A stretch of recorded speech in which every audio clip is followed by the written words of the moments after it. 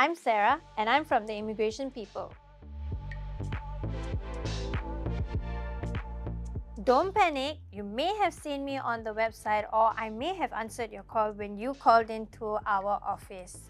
I am Sarah and I am from the Immigration People and I'm a senior consultant at the firm. So there are two motivational factors as to why I chose this industry. Firstly, I get to make an impact on my client's life. I get to get their immigration goals come true. And secondly, will be the diverse cultures that I'm exposed to through the stories that they tell me about their own livelihoods in their own country. In today's episode, I want to share with you an interesting case that I had some time ago. This case was actually a sponsored application case. The applicant is an EP holder and the sponsor is a Singapore citizen who is his spouse. Usually, the main focus will be on the sponsor's profile. But in this case, the sponsor's profile was very weak because she wasn't working and at the same time she was having health issues. The EP holder, who is a spouse, who had actually more achievements and had a lot of industry experience, which where most of the value actually lies.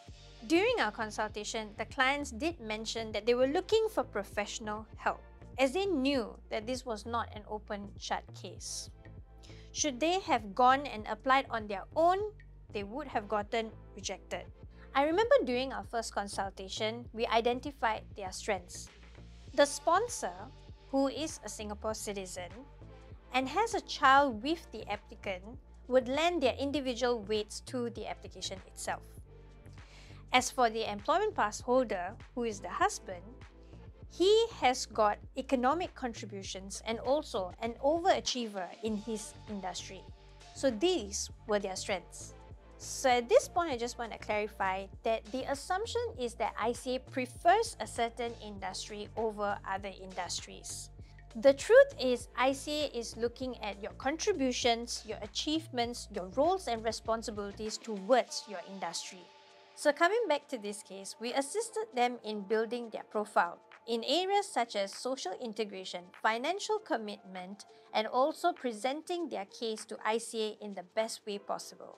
Additionally, to improve the chances of our client's profile, we had given them a consolidated list of supporting documents that would lend weight to their application.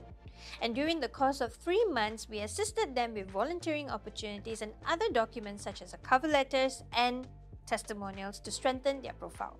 And in just 8 months, they got their approval, and I'm so happy for them. In fact, they were anticipating a rejection. But I'm glad they looked for me, and I managed to make an impact on their lives. I will not advise you to do this on your own because there's a high likelihood that you'll get rejected and there's a lot of time being wasted. My advice will be to seek professional help so that we can help you build your profile and strategically present your application to ICA in the best way possible. Again, I'm Sarah, and if you like more content like this, don't forget to like, share, and subscribe to the Immigration People, and I'll see you in another episode.